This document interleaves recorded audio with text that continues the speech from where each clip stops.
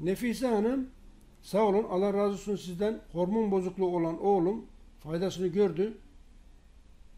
İyi ki Allah sizi karşımıza çıkardı. Çoban çökerten ha şey birçok insanda jinekomasti yani göğüs büyümesi oluyor. Hormon anormalliğinden bazılarında yağlanma, bazılarında hormon anormalliğinden kaynaklanabilir. Çoban çökerten seti kullandığı zaman jinekomasti ortadan kalkıyor, hormonlar normale dönüyor. Bir gün benim oğlumla, büyük oğlumla, alimle Menderes ırmağının kenarında, Büyük Menderes'in kenarında oykoloptus ağaçlarının fotoğrafını çekerken be, be oğlum bir bağırdı. Baba ne oldu dedim ya. Ne bağırıyorsun? Yılan veya akrep soktu zannettim. Korktum. Ne var dedim ne oldu?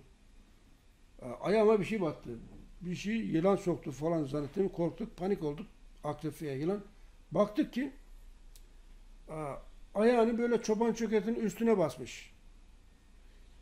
Ayağındaki terli delmiş, işi tiken, demir diken derler. Bir adada çoban çökerteni. Ayağına batmış. O kadar sert bir şey bunun tikeni. Ayağındaki lastik ayakkabı ta, yazlık bu parmak arası şeylerden giyiyordu. Anın adam ayağına ta parmağına şimdi kadar delmiş. O kadar sert. Demir diken derler bir adada. Evet çoban çökerten o kadar sert dikeni var. Bunun özelliği şu. Beyinde hipofiz bezesi luteinizan hormonu salgılarsa luteinizan hormonu da erkeklerde testosteron, kadınlarda östrojen hormonu salgılamasını sağlar. Luteinizan hormonu azalırsa testosteron da azalır, östrojen de azalır. Hem bayanda da hem erkeklerdeki hormonlar azalır. Luteinizan hormonuna bağlı erkeklerde testosteron, kadınlarda östrojen hormonunun artması.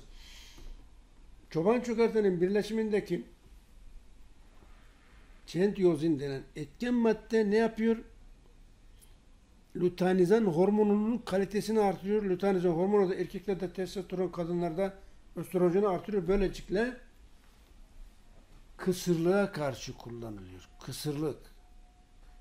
Birçok çocuğun ismini ben koydum. Hamdolsun.